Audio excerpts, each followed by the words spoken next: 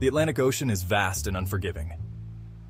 A realm of endless blue stretching beyond the horizon where the sky meets the sea in a seamless blend of mystery and majesty. A watery expanse separating continents and teeming with mystery. Beneath its surface lies a world unknown, a vibrant ecosystem that thrives in the depths.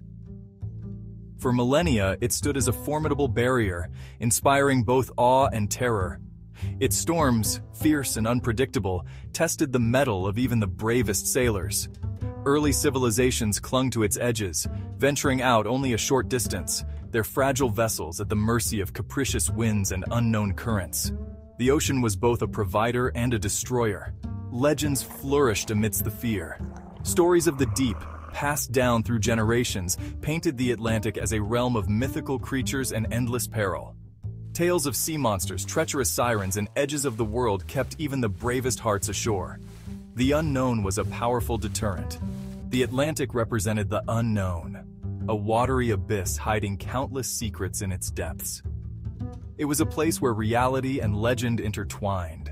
Yet, the allure of what lay beyond, the promise of new lands and riches, whispered in the ears of adventurers. The call of the unknown was irresistible. The call of the unknown, the yearning to conquer this formidable barrier, eventually drew intrepid souls westward. They were driven by dreams and a sense of destiny. Driven by a thirst for knowledge, wealth, and perhaps a touch of glory, these pioneers dared to challenge the might of the Atlantic. Their courage was matched only by their determination. Their voyages, fraught with peril and uncertainty, marked the beginning of a new era in human history, an era of exploration, discovery, and the gradual bridging of a once insurmountable divide. The Atlantic, once a barrier, became a bridge to new worlds. Conquering the Atlantic demanded more than just courage. It required knowledge, skill, and an unyielding spirit of adventure. Early navigators relied on rudimentary tools and celestial observations to guide their way through the vast, uncharted waters. The stars, those celestial beacons, became their compass, their maps etched not on parchment, but in the heavens themselves. Each constellation told a story, a guide to the unknown. The invention of the astrolabe, an instrument for measuring the altitude of stars and planets, revolutionized navigation, making it more precise and reliable. Sailors could now determine their latitude, their position north or south of the equator, with greater accuracy, reducing the uncertainty of their voyages. This innovation, coupled with the use of the magnetic compass, which pointed consistently north, provided a new level of confidence and accuracy to seafaring, transforming the way they navigated. No longer were sailors solely reliant on dead reckoning estimating their position based on their last known location and their ship's speed. They had tools that brought science to their art. With these new tools, the vastness of the Atlantic became slightly less daunting, a challenge they were now better equipped to face. They had begun to unlock the secrets of navigating the open ocean, paving the way for future explorers and the age of discovery. Navigational tools alone could not conquer the Atlantic. The vessels themselves had to evolve to withstand the rigors of open ocean voyages. Early ships, often little more than glorified rafts, gave way to sturdier designs capable of weathering storms and carrying more provisions. The Caravel, a small, highly maneuverable ship developed by the Portuguese, emerged as a game changer. With its lateen sails borrowed from Arab designs, the Caravel could sail closer to the wind, allowing for exploration of previously unreachable coastlines. Its shallow draft enabled it to navigate rivers and explore inland waterways, further expanding the reach of European explorers. These advancements in shipbuilding, coupled with improved navigational techniques, paved the way for longer, more ambitious voyages. The Atlantic, once a fearsome barrier, was slowly transforming into a pathway for exploration and discovery. In 1492, Christopher Columbus, equipped with the latest navigational tools and a fleet of caravels, embarked on a westward journey that would forever alter the course of history. His successful crossing of the Atlantic, while initially a search for a new route to the East Indies, opened up a new world to European exploration, conquest, and colonization. Columbus's voyages, followed by a wave of other intrepid explorers, shattered the illusion of an impassable ocean. The Atlantic was no longer a barrier, but a bridge, a watery highway connecting Europe to the Americas. This newfound accessibility triggered a period of unprecedented cultural exchange, trade, and unfortunately, conflict. Section 5. The Columbian Exchange, a world transformed. The establishment of regular transatlantic voyages initiated what historians call the Columbian Exchange, a period of profound biological and cultural exchange between the Eastern and Western hemispheres. This era marked the beginning of a new global interconnectedness, where the movement of goods, people, and ideas began to shape the world in unprecedented ways. Plants, animals, diseases, and ideas traverse the Atlantic, forever altering the demographics, economies, and environments of both continents. The exchange was not just limited to tangible goods, but also included the transfer of knowledge and cultural practices. From the Americas, potatoes, tomatoes, maize, and chocolate found their way to Europe, transforming European cuisine and agriculture. These new crops became staples in European diets, leading to population growth and changes in farming practices.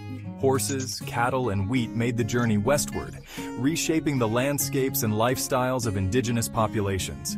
The introduction of these animals and crops had profound impacts on the social and economic structures of the New World. However, this exchange also had a dark side. The movement of people and goods brought with it unintended consequences that were devastating for many.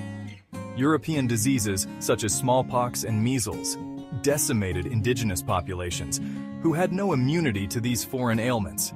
The loss of life was catastrophic, leading to significant cultural and societal disruptions.